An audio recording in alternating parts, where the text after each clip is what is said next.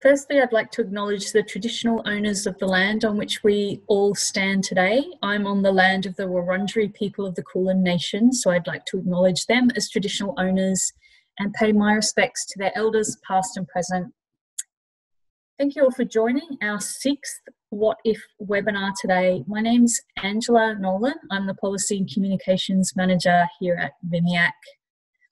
For those of you who haven't uh, been to one of these seminars before, the idea behind our weekly What If webinars was born out of the need to focus on what the mental health system would look like if we were working well and a more positive focus. We've had and we'll continue to have guest speakers each week discussing a myriad of topics within the mental health space. Today, we're honoured to have Jayashri Kulkarni discussing what if women's mental health was a priority in Victoria. Professor Kulkarni directs a large psychiatric research group called the Monash Alfred Psychiatry Research Centre, which is dedicated to discovering new treatments, new understanding, and new services for people with a range of mental illnesses. She became a Fellow of the Royal Australian and New Zealand College of Psychiatrists in 1989 and was awarded a PhD from Monash University in 1997 for her thesis, Women and Psychosis. She is internationally acknowledged as a leader in the field of reproductive hormones and their impact on mental health. Professor Kulkarni was elected the president of the International Association of Women's Mental Health in 2017.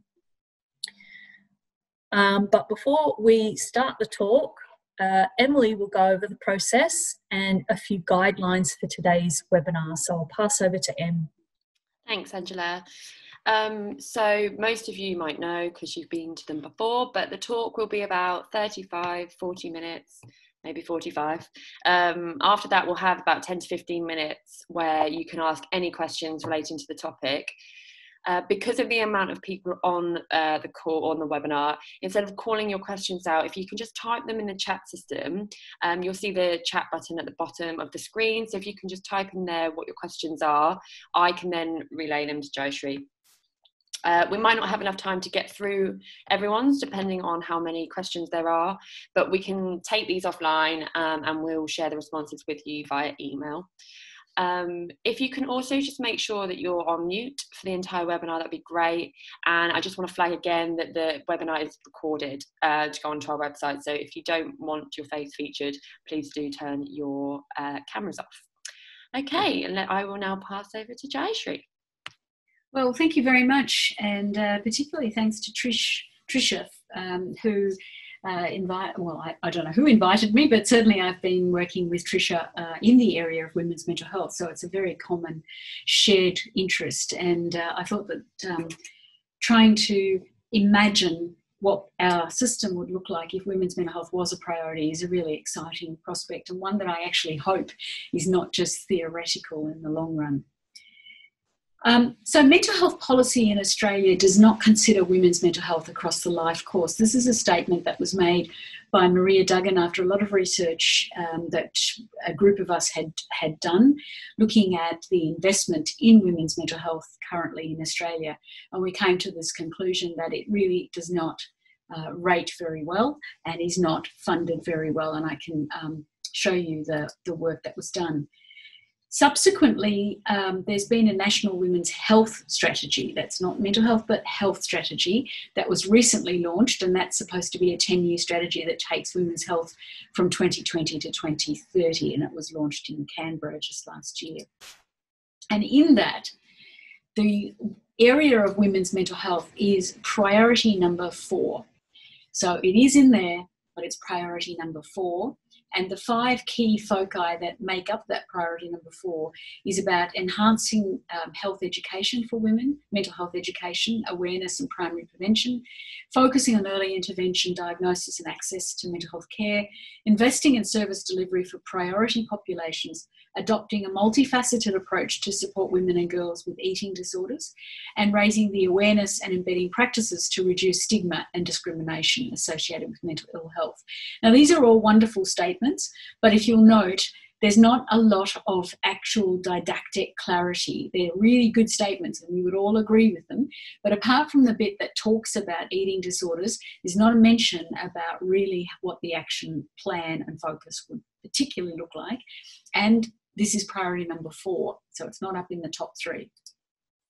This is the document that Maria Duggan and others um, we put together. It's now old because it's 2016, but it was a very important um, piece of work to look at what happens with women's mental health. How can you strengthen the foundation for women, uh, families, and the Australian economy? Clearly, the economy is taking a major beating at the moment. But when we look at mental ill health, we find that mental disorders represent the leading cause of disability, the highest burden of non fatal illnesses for women. This is not going to be a surprise to anybody um, in this audience, but certainly in Australian women, there's a significant proportion of women, 43%, that's uh, you know quite a high percentage of the Australian female population who've experienced mental ill health at some point in time. We look at the sorts of things that women have experienced and compared to men, you see that the um, figures show that there's twice as many women uh, likely to suffer anxiety. And in fact, in this particular uh, time of COVID with some of the survey work that, that we've done and that others have done. And I think it'd be interesting to see what your survey showed at VMIAC. But certainly that would be more like five times, so that the anxiety levels are much higher uh, and particularly higher in women. Depression is twice as likely uh, in women.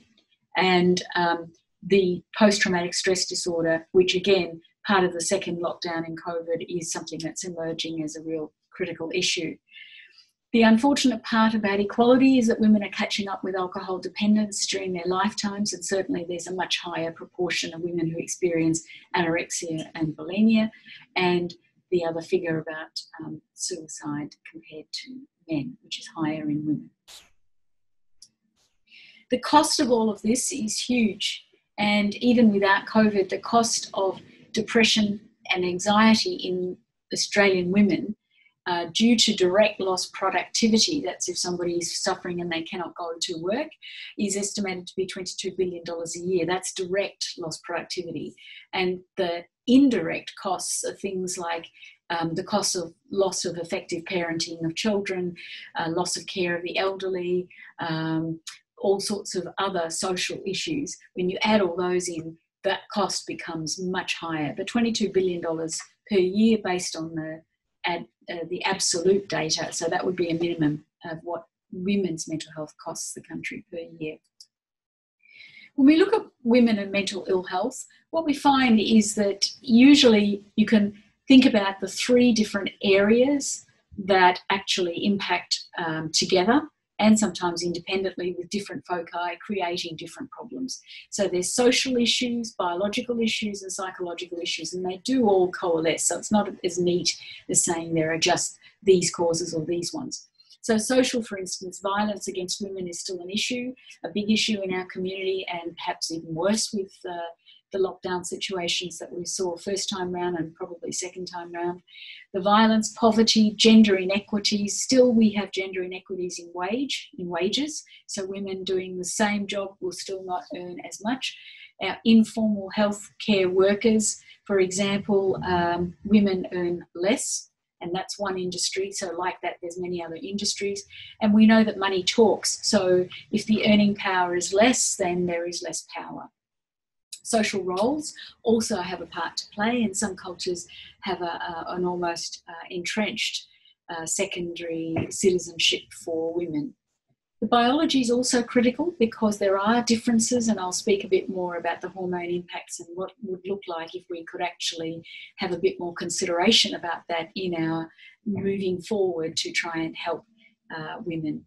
There are differences in drug metabolism systems and brain circuitry and genetic transmission, all of which mean that, for example, medication responses can be quite different in women compared to men, and that's often overlooked and not taken into account. The psychology can be very different, and I don't mean to represent all women as the same, clearly not. There are big differences between women as well, but if you took the group um, and based a, a, a, study of defense mechanisms and how do people cope with different crises, there is a difference between males and females because of psychological responses and defense mechanisms. So, what if women's mental health was a priority in Victoria? What would we be thinking about? And I think many things would actually look really different and I'm not going to be able to talk about all the different things that I would have liked to spoke to have spoken about.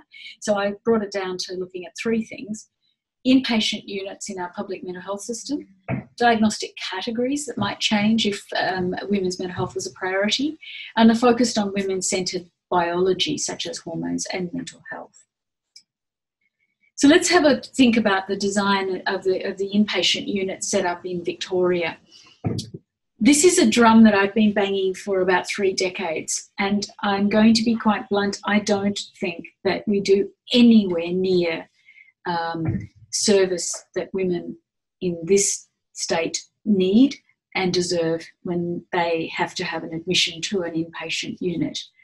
Um, it's really unfortunate, it's really sad, but again, this is something that I hope will be addressed in by the Royal Commission into mental health as well as uh, the Royal Commission that was held about violence against women.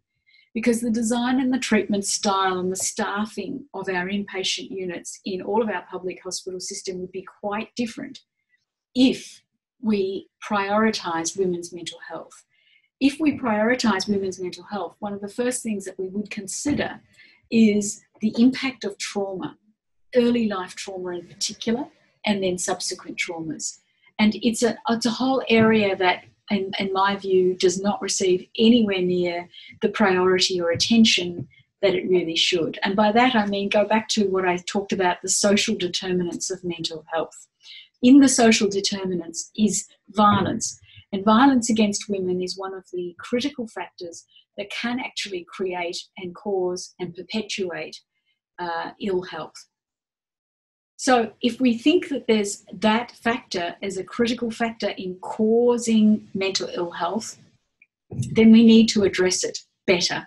We need to address it in a lot, a lot of different ways, but we particularly need to make sure that women who are coming into hospital for treatment or who have to come into hospital for treatment should, at the very least, have safe and private areas that do not then re traumatize them in the setting of um, perhaps potentially having to deal with an assault from a co-patient staff member or verbal assault or be, feel uh, intimidated or feel threatened in any way shape or form. And at the moment with the setups that we have in many of our inpatient units this is a difficulty. This is very difficult to actually um, be able to offer women safe private um, areas so many people rightly um, went to the Mental Health Complaints Commission over a period of time.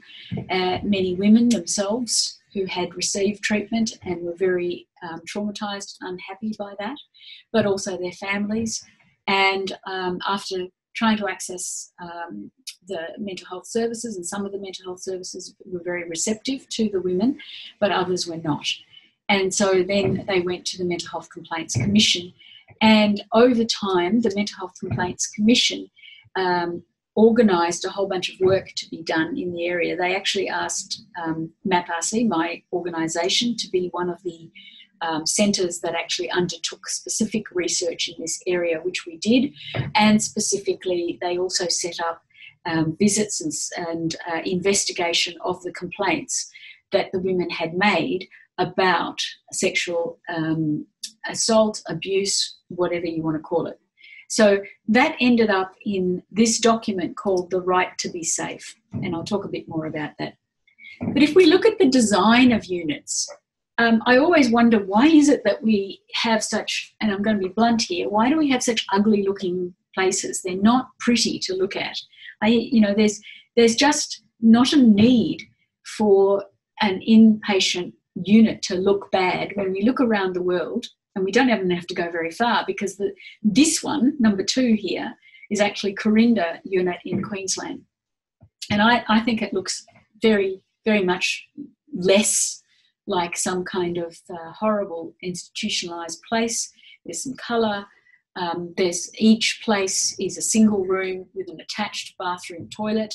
It has space, it has light, it has pleasant colors, and there are safe women only wings. And this is from um, Toronto, the first one.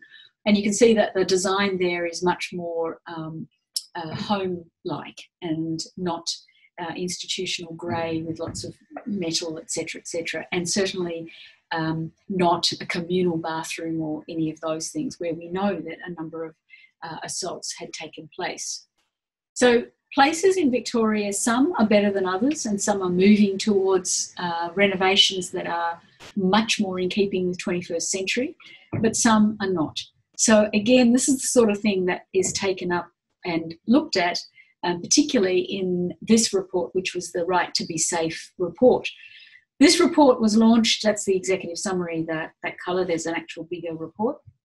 It was launched in 2018, and um, the Mental Health Complaints Commissioner launched it, and um, the Ombudsman has also been involved, and so on. Um, this was this was me talking about the call to arms that the MHCC Mental Health Complaints Commission made uh, a special point about. So it's really time for action. And this is the point that Tricia and I have made together at the Victorian um, Women's Mental Health Alliance, which is a division of Women's Health Victoria that we've been lobbying governments and so on, that it's time for considered, concerted, and long lasting action to make sure that units are designed, new units are designed to be safe, to offer privacy. But more than that, it's not just the capital works and the building, it's about the staffing, it's about having um, a, an attitude of um, respect and privacy and safety that's engendered by the um, quality of care right across our service. So that would be one of the things that, you know, if women's mental health was a priority in Victoria, I think we'd have more um, kind care in much better looking surrounds. So that's that's one thing that I'm really very keen to see uh, come to fruition. And we, we get closer all the time, but I'm impatient and I really want this change, that change in inpatient units to happen uh, yesterday. So if we have a look at the second bit, which um, was women and women's mental health and diagnostic categories. Now, here we have one of the issues in that diagnoses in psychiatry are made according to subjective assessments, pattern recognition of the symptoms, and the experience of the clinician. It's very different to how diagnoses are made in other parts of medicine. If you have chest pain, you would go to your doctor, explain that you've got chest pain, and then you would get a diagnostic test, usually an ECG as a start. So, an electrocardiogram, but then other tests done as well. And then on that ECG or other tests would be the definitive objective diagnosis. Aha, uh-huh, you have um, ischemic heart disease. This is a chest pain that we need to worry about. Let's get on and do something about it, and we'll do this, this, and this. So it's all quite objective.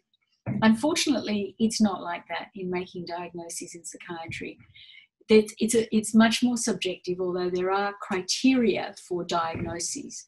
And that's what the DSM is about. And the newer system, well, not newer, but a different system called the ICD 11, which is the one that the World Health Organization uses. They don't use the DSM, which is an American system.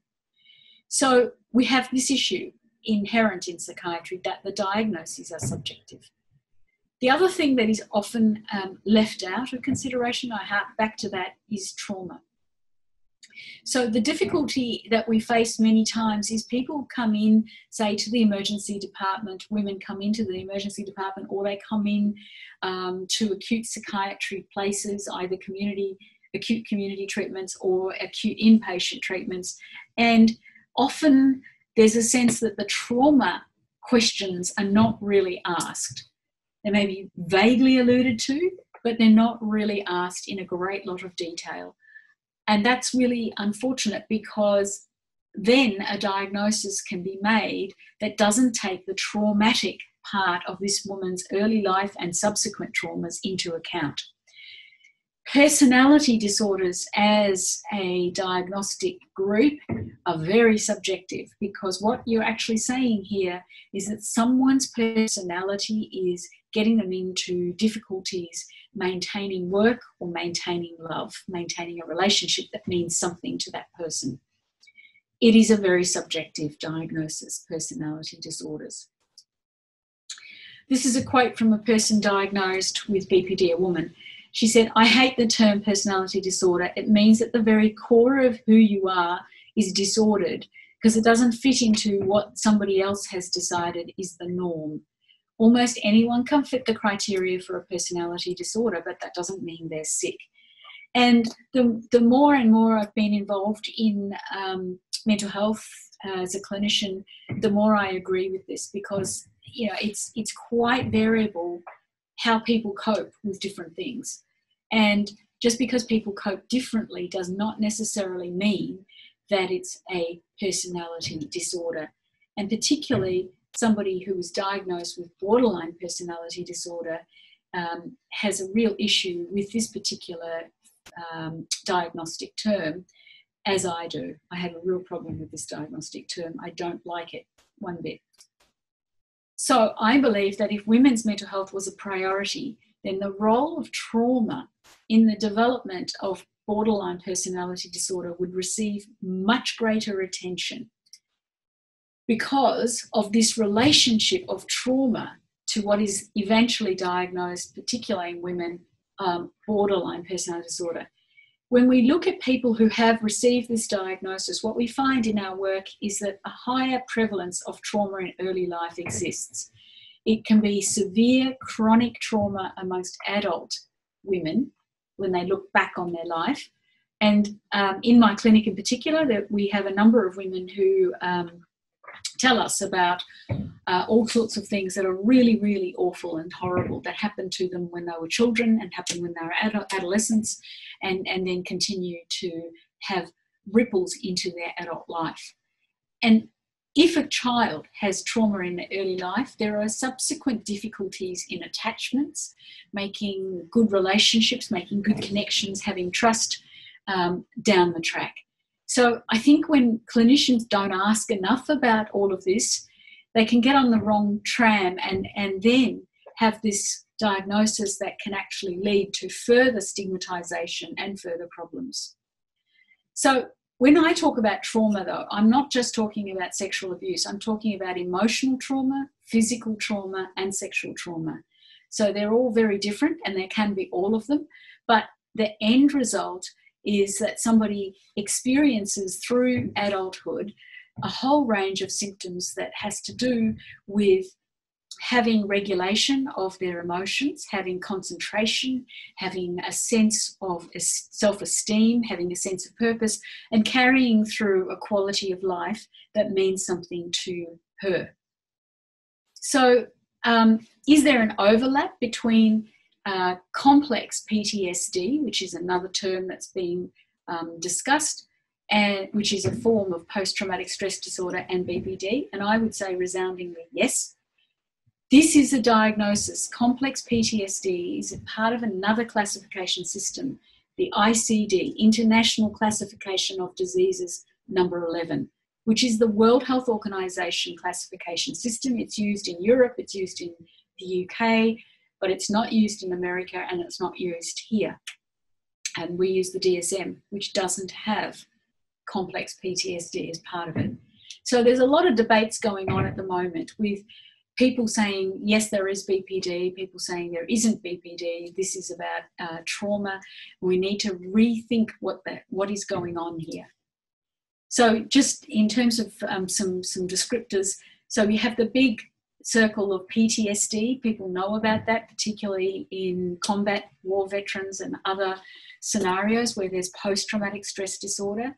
We have this other thing that is described as a personality disorder, but in the intersecting bit is complex PTSD, which takes a lot of the symptoms of post traumatic stress disorder, but the actual trauma is not just one thing that happened, like for the war veteran, where the grenade went off on maneuvers, and you can say that's what the trauma is. This is the quieter, more chronic traumas uh, in an ongoing way, like domestic or other violence. Then people say, but not everyone with BPD has trauma. And again, I would say, hang on, let's define this as, as it needs to be because there are many things that are traumatic and different people experience trauma or different things differently. So, what may be very traumatic for some people may not be so traumatic for others. But certainly, it's important to get an idea of what went on in early life for women and for men, but it does have an, a, an impact on brain development and some of the circuits and brain circuitry and chemistry that happens in the brain. So, again, there are difficulties that we have with the history of trauma not asked about in depth by clinicians, but sometimes the person with the um, condition doesn't want to share that information because she feels shame or loyalty um, to whoever the abusers were and has deeply held fears. However, the number of women who are diagnosed with BPD as a personality disorder have significant trauma, and that number is very high. Why do I go on about this diagnosis? Because the stigma attached to this diagnosis is high. So it's it's bad enough that people are struggling with whatever the symptoms are, but then they have to also cope with stigma, which is not fair. So that's why the term is important to rethink because many people who come along, and particularly women are more diagnosed with this than men, um, come along to emergency department with deliberate self-harm can actually end up feeling blamed or feeling stigmatized or worse that there's just no help in sight. So that's why when we say what's in the name there's a lot that's in the name. It's really important what words we use. Um, it is important that we re- recognize the woman who has and the man who has been uh, diagnosed with this as a survivor of abuse in many cases, that in fact this person has defeated the awful adversity. And so they're a bit of a they're not a bit they're, they're quite a hero and they're actually amazing in the fact that they've managed to overcome what was going on in their early life. So in in a lot of ways we need to actually applaud the individual not to stigmatize. And yet in our current systems, the stigma is, is quite prevalent. So, again, if we could turn around the priority, I think it would be another issue to think about the success story that this particular individual is, that, that they've survived what happened in early life. Here's another actual quote Borderline makes me feel like I don't really have something, and that's how I often feel unreal. That's a common symptom. People talk about the fact that they don't feel real. And so the term borderline is, is again, invalidating. And then this comment um, typical psychiatrists can't make up their mind, so they call it borderline. So there are many uh, comments, of course, from people who have been diagnosed with this that, again, I think highlight the need to rethink what's going on and to think about the name. So for women, it may be better to adopt a trauma framework. And that's important too, because if you start to think about the trauma framework, you've got different solutions and different options to actually understand and to work with the individual. So you think about the sorts of things that can be offered somebody who um, you know has PTSD, and so there's a lot of good trauma work that has been done over the years, and there are available trauma type frameworks that people could utilize. Um, what then emerges if we change the name is new understanding and possibly then new treatment approaches, and that's what we're working on at the moment.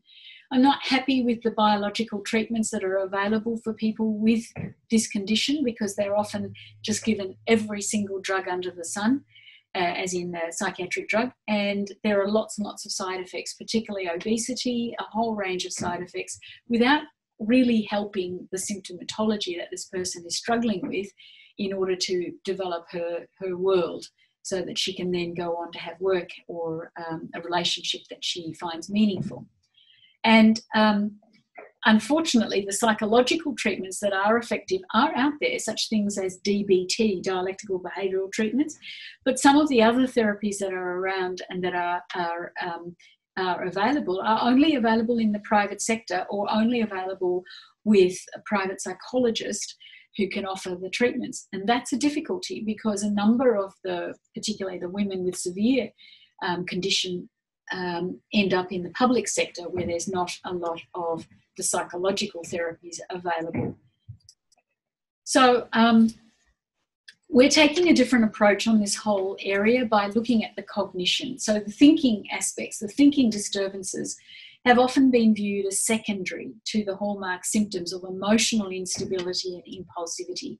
If we turn that around and actually think that it's, it's the cognitive difficulties that underpin the symptoms of the disorder, then we can actually move forward to look at how are we going to improve, help, or clarify the cognition processes. And I'm not going to go to too much, but we've been looking at new pathways, new chemistry, in particular the glutamate and the NMDA system are systems that are activated that are really important in integrating your environment with your thinking. And that's what neuroplasticity, experience dependent neuroplasticity. Using all of this, I put together a concept about complex, trauma, complex PTSD, or borderline personality disorder, as the old terminology is, that here we have a child who has stress in their early life. So they have cortisol and other hormones that are accentuated in early life. And these hormones are potent in the brain, they're not just in the body they do have an effect on the body as well. And that leads to other hormone disturbances. So in our women, we see a whole bunch of things like polycystic ovarian syndrome, we see PMDD, which is premenstrual depression, we see menopausal relapse, and we see high levels of anxiety because of the cortisol axis hormones here, low thresholds for re-trauma. So these are the hormone disturbances. We also see disturbances in this neurochemical, glutamate, which is different to the chemicals of serotonin and dopamine, which is where most of the psychiatric drugs work. Both the antidepressants and the antipsychotics work on serotonin, eh, you know, SSRIs, for example, SNRIs. So these drugs, or this system, is a different system, and those drugs don't work particularly brilliantly on this system. The other thing that's important um, to think about is it's a whole body uh, experience, bad experience, when people, children, have uh, stress in an ongoing way in early life, or even somebody has ongoing stress. You know, the body reacts as well as the brain, and the immune system also can um, take uh, some stress itself. And the immune system is not just how well you can fight off COVID, although that's part of it, but it's also how well uh, or how do you metabolize medications. That's determined by the immune system. This is why many times we see in women in particular who are given medications that they have bad side effects to medications, even given in low doses sometimes. And again, it's something that's important to consider because if if you get the wrong dose, you will get the side effects and not the, the required or wanted effects. And often the whole thing ends up as being another problem. So that's a brief description of the sorts of things when you start thinking differently, you move away from a concept of personality disorder, which is stigmatizing and which people go, well, you're stuffed. You know, that's your personality, it's disordered, nothing I can do. That's not good that is not appropriate. And so when we think about taking a better story, look harder, think again, we do find that we can actually approach things differently with new concepts. And in particular, we've got to be careful of the physical health alongside mental health. It's not good enough to go, yep, well, there's no more voices. But look, look what's happened. There's a whole bunch of side effects, including huge weight gain. You haven't gained um, anything, and the person is now struggling with her weight or um, with consequences of weight gain, such as diabetes or high blood pressure or all sorts of things, as well as feeling bad about looking uh, a certain way. So we need to take a holistic view in this condition, particularly because it lends itself to new doors being opened if we think differently. So um, this is some of the work we've been doing. It's some of it's published, it's out there. Um, but I would urge clinicians, and if we could focus on women, in particular, I think new thinking with women's mental health is really required as a priority right now. So, in the last bit, I wanted to talk about the hormone impact on women's mental health. And if women's mental health was a priority, we'd have a different view about why some conditions are actually emerging for the women in terms of mental ill health. So, hormones have a really critical impact on the brain, and for a long, long mm-hmm. time, this was ignored because people went, well, you know, reproductive hormones like estrogen, progesterone, testosterone, they're all about having babies, and that's it. But it's not, it's they're very, very potent brain hormones. And so these hormones, yes, they do have a role to play in reproduction, but they also have a significant role in modulating the brain chemistry that is particularly behind such things as emotions and thinking and uh, perception and long planning in terms of thinking and a number of other different things, memory, for example, and new learning. So, as we've got better in neuroscience, understanding the interplay between estrogens, progesterones, and androgens, that's testosterone, and the brain, a lot of other things have become a little bit clearer in terms of some of the things that women experience that were not particularly well understood before, but we've got a long way to go to get that out into general knowledge. There are some specific depressions that are related to reproduction. So, PMDD or PMS, they do different things, but they're along the same spectrum. So, PMDD is premenstrual depression, dysphoric disorder, depression. PMS is premenstrual syndrome. So PMS is kind of like the, the the easy end of the spectrum, where many women it's not easy, but when many women experience uh, physical symptoms and a bit of uh, irritability, right through to PMDD, which is a very significant, severe, life-threatening depression that occurs cyclically and occurs uh, once a month in the women who have um, menstrual cycles, so their reproductive age. There's a whole other area that we've been working on about um, the effects of the oral contraceptive pill. And at the moment, I am sad to say, we don't have a lot of pills on the market that do not cause depression. Most of them do cause depression. And this depression is worsened in vulnerable women who have got a story of um, early life trauma or other things that are going on in their environment. So, this is like another factor um, that adds to the, the, the bundle of concerns and uh, leading to problems with depression.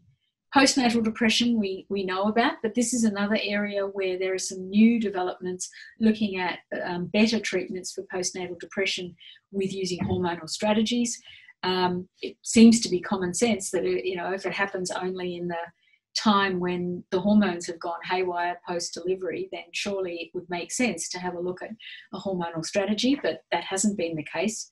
And again, the other thing is perimenopausal. So, perimenopausal being around the de- menopause, that there is a significant depression, and it's not a simple, um, she's just a bit grumpy type phenomenon. This is a significant depression that actually has a suicidality associated with it. I'm going to touch briefly on all of these, but I probably won't have time to get through too much because we're nearly at the end of our time.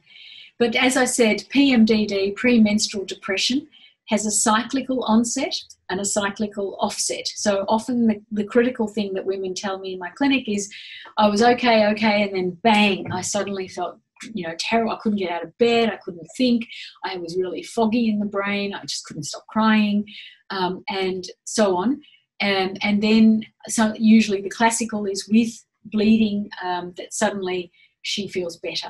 However, it doesn't have to necessarily follow the cycle in that same way. For severe PMDD, the vitamins and herbal treatments don't really work. The best treatments are to use the oral contraceptive pill if the person is safe to use that. And Zoely is really the only pill on the market at the moment that doesn't create more depression it's sad, but the common pills, Levlen and, and Nordette and so on, um, have a progesterone in it that is not particularly conducive to good mental health. I often say this because I need women to hear this that PMDD is a brain hormone condition It's not fixed by total hysterectomy and getting the ovaries out because many women say, I can't stand it one, one day longer. I just want to go in and get everything removed. That will not fix the problem. And we've seen some really horrible situations where 23 year olds have had hysterectomies and ovarectomies and um, then she you know decides later that she wanted to have a baby. So it's it's really important that we understand this condition better. And often the women have got the answers and that's the other thing to put forward is we talk about women's mental health being a priority but actually just listening to the women's stories and their solutions it's incredible how intuitive and how well a number of women who've come to the clinic have understood their problem but they just haven't had the reception to be able to get on with it because they know what they want and what they need the pill there are many, many pills that are out there on the market that are really horrible in terms of uh, a hormone induced depression. So the progesterone only pills are really bad because they don't have estrogen. Estrogen is the good hormone if we want to keep it basic. It's a very protective hormone in the brain. Progesterone can cause depression. So in the pills or the that's the mini pill or the Implanon, which can be the straw that's under the skin, or the Mirena IUD. These are all contraceptives that are progesterone only, and we've seen depression escalate in those women who are sensitive to their hormones. Not everybody is sensitive. Many women have these contraceptions and don't have the problem, but it is important that um, if there's a sensitivity, that that's taken into consideration as a factor that needs dealing with before getting into a whole bunch of antidepressant treatment and other things. And I, I talked about we only have one mood neutral pill that's available, and that's the Zoely. Perimenopausal depression is under recognized and underrated. So, again, if women's mental health was a priority, we'd spend a lot more time with our middle aged women ensuring that they could understand what's going on in their brain and what is going on for them in their body, and what therefore is a solution to help with this particular form of depression. And let's not um, underestimate this anymore because the depression rates go up. This is ABS data, uh, you know, Bureau of Statistics data, 16 times in the 42 to 52 year old woman, women as a collective group. This group has the second highest completed suicide in Australia, so this is not a minor problem. And unfortunately, there's been too much of a tendency to go, yeah, yeah, well, you know, it's one of those things, and we'll just keep going with, she'll get over it, she'll get over it. But many times we see terrible situations where it could be the very first time that somebody experiences depression, or it could be that she's had depression in the past and done very well, but now it's relapse. And this relapse doesn't respond well to standard antidepressant treatment, um, and nor does it respond well to psychotherapies or lifestyle. These are the symptoms that many women with this particular form of depression experience. And you see their plummeting self esteem and a number of other symptoms that can be really horrible and really make it difficult for uh, a middle aged woman. And it does start before the hot flushes and before the actual body symptoms. So that's the difficulty in making this diagnosis. It might have to be retrospective because often the, the major age at which women do describe a change in mental state because of this is around 43, 44, or 45, whereas the hot flushes and the, the scanty periods and changing periods might not happen until they're 50. That's the average.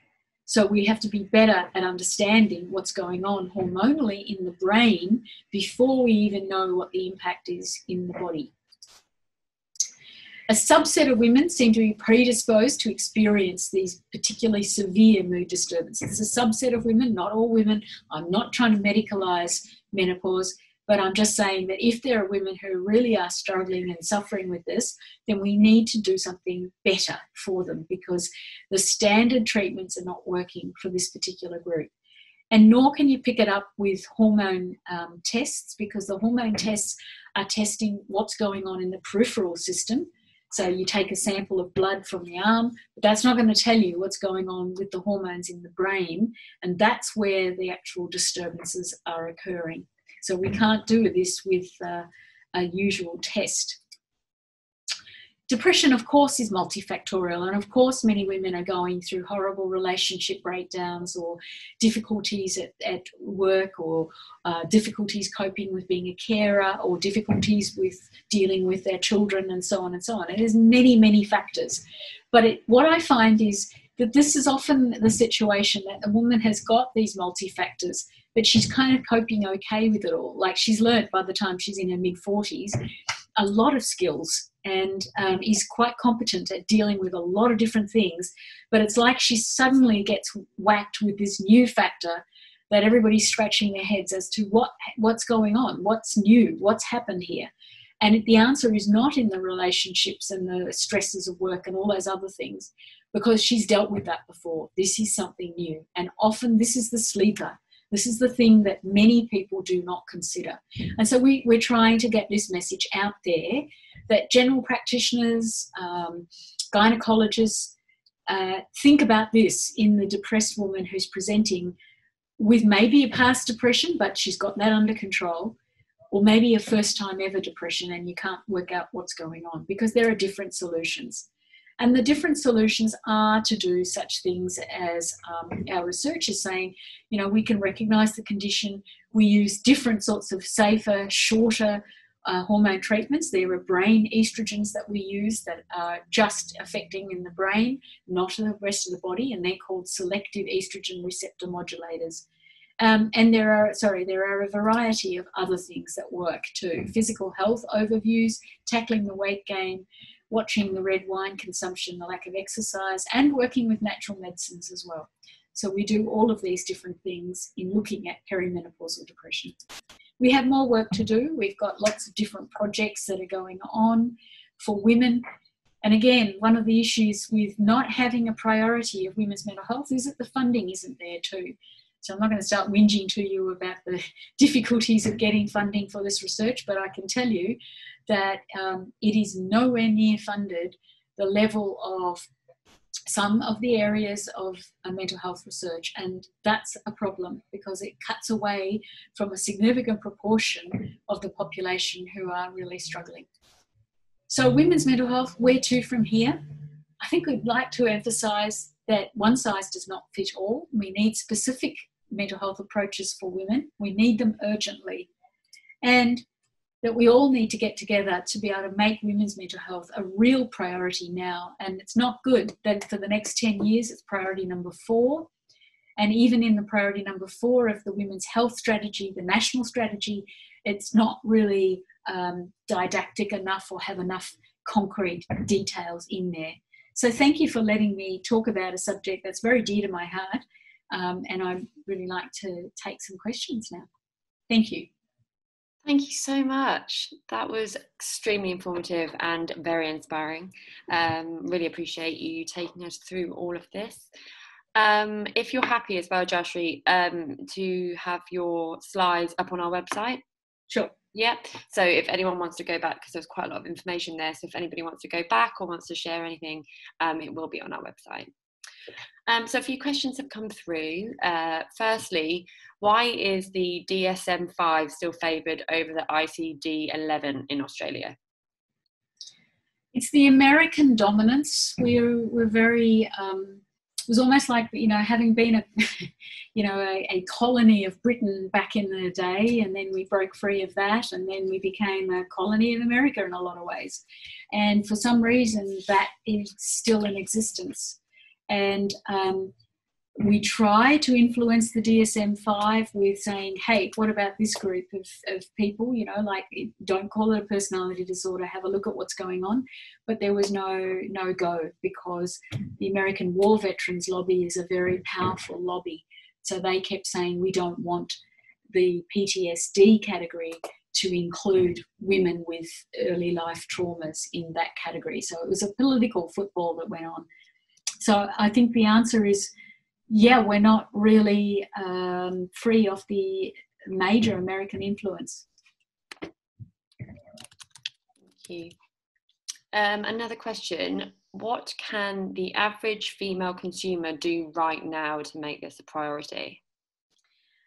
Look, I think, um, and again, uh, I noticed Sue Armstrong um, there. So again, um, you know, we've got some very um, amazing uh, female consumers, and Sue, somebody, Sue Armstrong, somebody that I've, I've continued to work with on the women's only ward issue. So that's where the voice for the consumers has been particularly, I think, good. We need more but that's a priority area, and particularly in people coming forward to both of the Royal Commissions. The first one was the violence against women, um, and the second one being um, the current one, which is the, the women, the, sorry, the Mental Health uh, Royal Commission. I think it's really critical to get the female voice heard there, and um, that's one area. The second area is um, to mobilise through things such as the Women's Mental Health Alliance, which is a subdivision of the government and and again to get political. You've got VMIAC who's a great organization um, but to not lose the women's voice in that because sometimes what happens is um, and again my bias but you know I, I get annoyed when people talk about youth mental health and the focus is on young men. So it's not young men that are that are having the problems. There's a lot of uh, young women who are struggling with different things to what the young men are but it's almost as if the female voice is is is not as well heard because it's not as loud.